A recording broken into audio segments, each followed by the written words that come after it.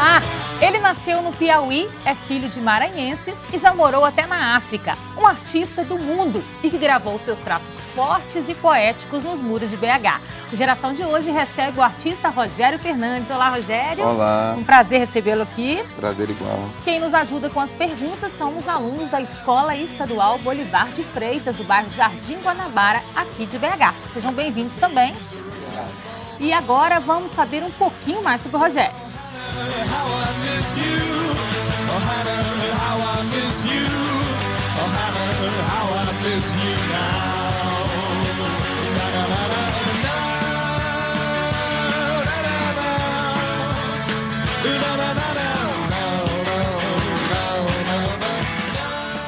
Então vale tudo para você criar aí. Vale, vale tudo.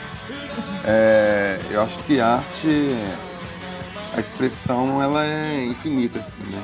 As possibilidades também. Ainda mais no século XXI que a gente está vivendo hoje, né? É, na academia a gente estudava, assim, que, é, que você tinha que ter uma superfície específica para fazer tal coisa, né? Aquilo. E, e você fica muito atento àquelas orientações dos, dos professores, mas chega no mundo prático, é, as, as possibilidades aumentam muito, né? Então, acho que hoje, a- a- com a mídia digital que você tem, então, para você criar qualquer coisa, vale. Tudo vale, né? Tudo Ô, Rogério, vamos explicar um pouquinho o que, que é ser um artista plástico para os meninos aí que estavam até perguntando. Você estava até falando sobre essa expressão artista plástico hoje, que ela é limitada para as possibilidades da arte hoje. É porque eu acho o seguinte, quando você fala artista plástico, é igual você falar que eu estudei, eu sou bacharel em Direito, por exemplo, entendeu? Você estuda academicamente durante a, a universidade, né? Você estuda pintura, desenho, escultura, né? Gravura.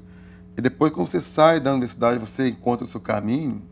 Então, acho que você já não é mais um artista plástico, na minha, na minha opinião. Agora, Rogério, como é que surgiu as artes? ah, Não, sabe? Porque se, se quando, é, quando é criança, às vezes gosta de. tem um jeito para uma coisa, mas assim, como, se como você chegou a pensar em ser um artista profissionalmente?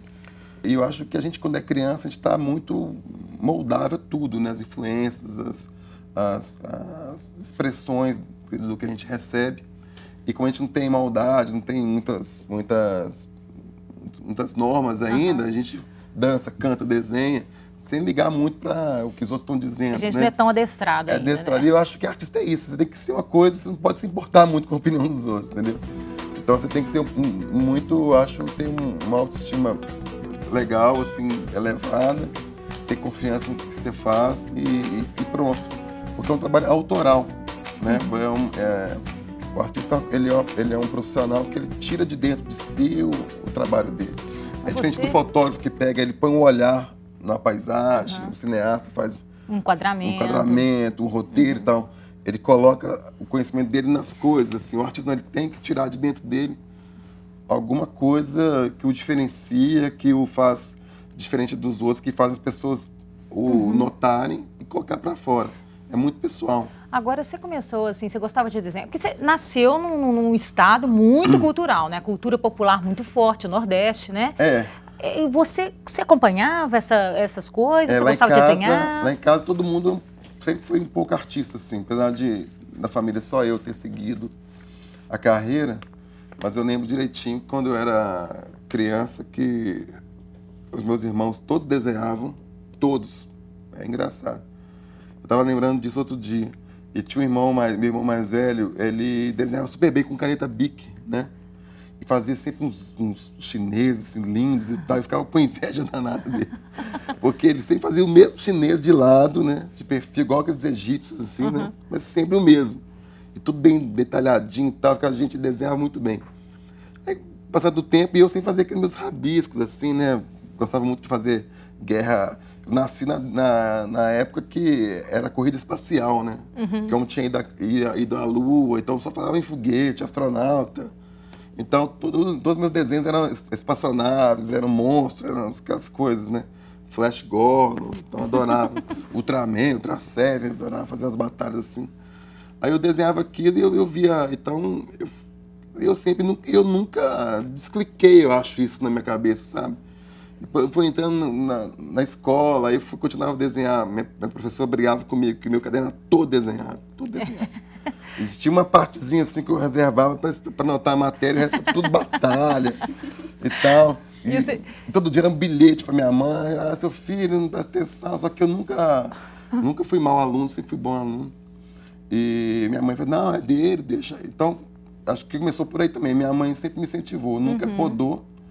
Que talvez, assim, as, as mães dos meninos, quando começam a ter alguma aptidão artística, qualquer que seja ela, às vezes pelas normas sociedade e tal, Vai podar, muito né? rígidas antigamente. Hoje não, hoje está muito mais fácil de você aceitar e você identificar isso numa criança. Uhum. Mas comigo não, minha mãe sempre é, apoiava, né? E, e falava, não, deixa meu filho assim, tá feliz, tá desenhando, tá, tá, tá, tá feliz, eu quero que ele continue assim. Então, sempre me dava material de desenho, de pintura. E você fez design, né? Isso. E aí, é, é, foi trabalhar em agência? Como é que foi? Pois é, minha história de design foi uma coisa muito engraçada, porque antes de eu entrar na faculdade, já eu, eu comecei a trabalhar numa, em agência de propaganda e de design, porque na época, as- os meninos não sabem disso, não existia computador, né, gente? Vocês, acreditam disso? Não existia E como é, computador. fa- e como é que fazer publicidade sem Alguma vez não existia computador. Aí como é que fazia? E Eu sempre desenhei, sempre fiz curso de pintura. E, e desenhava muito bem, então tinha muita tela, já tinha feito exposição, tá, muito, tinha portfólio assim, de desenhos meus variados, não era nada do que é hoje. Porque ainda não tinha descoberto meu estilo. E aí eu fiquei sabendo que, não sei, não sei se foi amigo do meu pai, que falou que estava precisando de um, de, um, de um profissional que era desenhista, que pagava bem. Eu nem fui lá, levei meu, meu material, a mulher falou assim, ah, adorei, começa amanhã. Aí, tipo assim, eu assustou. ganhava, tipo assim, muito, era muito dinheiro na época. Assim. Aí eu fiquei, nossa, o que, que é isso? Pra Tô mim, rico. eu ia ganhar nada, né? Eu ganhava para desenhar, eu achava aquilo massa. Tinha uma prancheta com um monte de material, um monte de gente maluca, de agência de propaganda, né? Muito doido. E eu tinha, eu tinha simplesmente 17 anos de idade. Não podia nem trabalhar. e trabalhava. Assim, todas as crianças sempre, sempre tem um ídolo, né? Ah. Você teve algum ídolo que De- te serviu de espelho, De artista? de artista? Olha, eu fui, eu fui começar a perceber é, um, um problema assim de bra- brasileiro, né, de cultura que a gente tem, é, que infelizmente não tem pouco contato com as grandes obras dos grandes artistas do mundo, né? No, no Brasil não se tem a possibilidade de a gente ir para um, pra um MoMA, para um, um Louvre e se deparar com os, os grandes pintores, a gente via mais, mais em livro, ouvir falar e tal. E, por que pareça, quando eu. As primeiras é, é, ídolos que eu tive assim, de, de arte não foi nem ligada à arte, foi ligada ao cartoon, que era o Maurício de Souza. Adorava a Turma da Mônica, essas coisas, sabe? Adorava os desenhos, as histórias, assim, bem, bem, bem, bem simples, né? Bem infantis. Então, os quadrinhos foram uma das coisas que mais me atraiu quando eu comecei, né? E depois eu fui, eu fui é, começar a... Tem um artista brasileiro que eu gosto muito, que é, que é o Iberê Camargo, que é um expressionista, que eu gostava muito dele. Quando a gente morou no Sul, eu tive contato com o trabalho dele, muito legal. E...